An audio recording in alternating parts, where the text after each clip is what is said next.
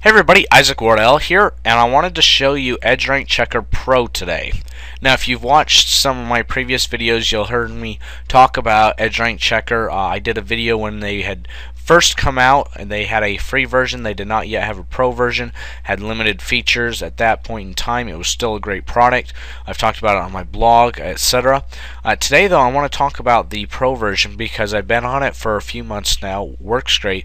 Uh, and they're continually adding new features. In fact this weekend they just added a new feature which uh, I was privileged to have beta access to so thanks to the guys at EdgeRank Checker for valuing my feedback into that uh, when you come to edgerankchecker.com, uh, you'll see this page, and if you're not already logged in, there will be a connect to pay, uh, Facebook option right here where it says select a page. Now, if you're logged in to EdgeRank Checker, you'll see that it says just select a page. After you connect to Facebook, it'll go to your dashboard, uh, actually, and uh, if you're logged in, you can just do a straight jump to a page. But you'll see here that you've got all your pages listed. Uh, the ones that are on a pro account will be designated as such. Uh, the rest of them will not automatically refresh with their score unless you go in there and manually refresh them. It just it costs a lot on their database to continually update every single page with the most constant score. But uh, you can go in there and manually refresh it. So if you go ahead and just click on a uh, page that has the pro feature and you can uh, go into your account and decide which ones you want on a pro account. Um, it does cost per page depending on how many fans you have. But uh, if you've got a good page that you want to really understand, it's well worth the money. Alright, so you come in here, you've got your EdgeRank score, which is uh, kind of like a, uh, I call it a Facebook engagement score. That's my little personal way of explaining it. It basically takes all the little interactions and all the little impressions and everything and rolls them up into a score. So if you're just wanting to keep track of how you're doing over time, this score will give you how you're doing on Facebook uh, over that specific amount of time. Uh, they've got some more details here. Most new fans, uh, least new fan days, worst days, best days, uh, etc. That you can watch your EdgeRank checker score over time. You've got more details here, such as uh, how you're doing compared to the previous specified time. Uh, your best worst. is just a lot of interesting things here. Uh, you can find your best likes hour, your best impressions hour, uh, etc. Some keywords from your post.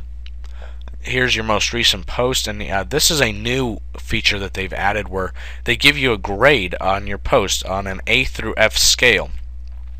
So as you can see, uh, some of my posts here haven't been doing uh, so great. This one got uh, six comments, but got a C grade. So actually, let's just go ahead and click on that and wait for it to come up here. So this post got an overall rating of a C. Alright, now uh, you can see that they're giving you the different grades on the different types of things that they're grading. So engagement, it got great engagement, six comments, which you can see up here. Uh, it got a D on impressions. It only got 187 impressions, so only about half of my um, audience saw it um, reach, viability, lifetime. It had a very short lifetime, uh, about uh, what is that? About three hours and 15 minutes. Um, so the average that one of my posts receives is more like seven hours. So it had a about half the lifetime there. Uh, timing, it wasn't exactly uh, put out at the best time did get a lot of engagement, especially compared to the average. Uh, impressions, it didn't uh, do as well as some of the others.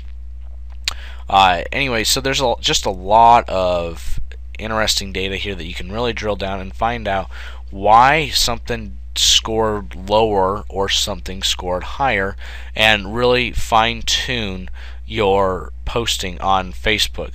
Uh, virability, that's the uh, number of unique people have created the story and commented on the uh, answering the post to your page as a percentage of the people that viewed it. So if 200 people viewed it and 10% uh, of them commented on it or liked it or engaged on it, something created a story about it, you would have a very high virability uh, on it for an example here.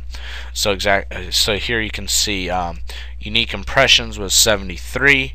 I had five comments or stories created around it when I got an average of two. So that was a very high viral, um, so to speak, uh, score on my uh, on my post there.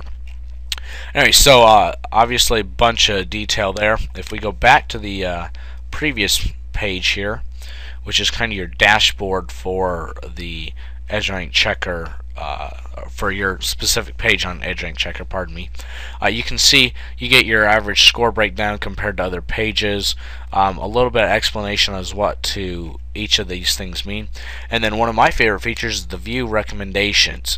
Uh, coming into here, whoops, my internet's been a little bit funky this morning, so that's uh, my fault, I'm sure. Alright, you can see here the their recommendations is that we post uh, two times a day, uh, that we use a photo, and that we post between 6 and 8 p.m. It seems I get the most engagement during that amount of time. And you can kind of see your uh, impressions and different graphs here.